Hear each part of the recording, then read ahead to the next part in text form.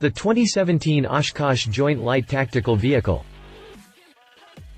The U.S. military has just awarded a contract to Oshkosh Defense for its Joint Light Tactical Vehicle, called the LATV as a replacement for the aging Humvee. The LATV, or Light Combat Tactical All-Terrain Vehicle, will be slowly deployed over the next eight years, with approximately 17,000 units slated for production. The $6.7 billion contract covers both variants of the LATV, a two-seat base platform and a four-seater that comes as either the general-purpose vehicle or the close combat weapons carrier. A companion trailer is also included. The LATV is powered by General Motors 6.6-liter Duramax V8 and is backed by an Allison 6-speed automatic transmission. Though the powertrain is outsourced, the LATV rides on Oshkosh's proprietary TAK-4i independent suspension system that is said to provide 20 inches of wheel travel with generous cargo capacity and unmatched off-road abilities. In fact, an early version became the first military vehicle to complete the Baja 1000, competing in the 2010 races. Oshkosh beat out big names like AM General and Lockheed Martin in winning the contract. Not only will Oshkosh supply the LATV, but it will continue to supply parts and services for decades to come. While the LATV nearly twice the size of the current Humvee, it still fits in a Lockheed C-130 airplane, along with other military transport vehicles. Airlift hooks protruding from its hood and rear bumper allow for helicopter transport, despite its 14,000-pound curb weight. Oshkosh will begin delivering LATVs in roughly 10 months' time. Continue reading for more info on the Oshkosh JLTV. Oshkosh LATV in action. Configurations The Oshkosh LATV comes in two main configurations, two-door and four-door. The four-door model is then offered in two versions, a general-purpose carry-all and a gun platform. The general-purpose model is equipped with a pickup bed for hauling cargo while the gun platform acts more as a four-wheeled tank. One of the top priorities for the LATV is troop protection. Its cabin is designed to guard against everything from small arms fire to roadside IEDs.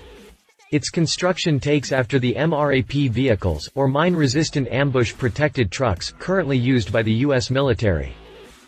All LATVs will be powered by a 6.6-liter V8 turbodiesel derived from General Motors Duramax V8 found in the 2015 Chevrolet Silverado and 2015 GMC Sierra HD pickups. The basic engine is then modified by famed diesel tuner Gale Banks Engineering for even more power. While the standard Duramax makes 397 horsepower and 765 pound-feet of torque, the LATV's version is expected to produce nearly 575 horsepower and 900 pound-feet of torque. Like in the GM trucks, the engine will be backed by the Allison 1006 speed automatic transmission. Design and use The Oshkosh LATV is a mean-looking beast and is unconventional in nearly every sense of the word. Not one part or design idea looks lifted off a production truck. The massive front grille is designed for superior cooling, and the integrated front bumper provides an excellent approach angle. The center section that makes up the passenger compartment is nearly impervious to small arms fire and makes surviving a roadside bomb much more likely. The rear of the vehicle is modular, allowing for any number of configurations and uses. The LATV rides on huge mud-terrain tires fitted to bead-lock wheels. The TAK-4i suspension system offers the driver on-the-fly control of ride settings and height adjustment, allowing for compensation for cargo or rough terrain. Every feature on the LATV is designed to keep its occupants safe in hostile territory while carrying out a variety of missions. The LATV offers remote control weapons systems, shot detection systems that help located the position of enemy fire, automatic fire suppression systems, and infrared and daylight camera systems. Conclusion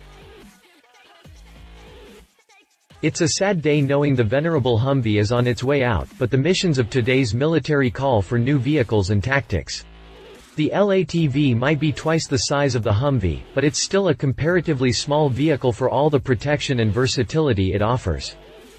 The LATV will slowly begin replacing the Army and Marine Corps' current fleet as supply allows. If the Oshkosh surpasses expectations, the military has the option of ordering another 38,000 units.